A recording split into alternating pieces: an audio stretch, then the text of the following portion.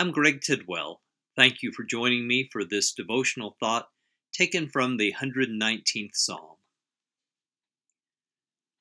Psalm 119, 105 Your word is a lamp to my feet and a light to my path.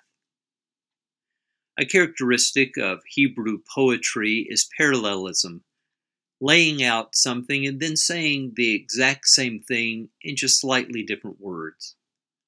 A lamp to my feet and a light to my path. The concept that God's Word illuminates, that we live in a world of darkness, but in the darkness we can have safety of the light of God's will.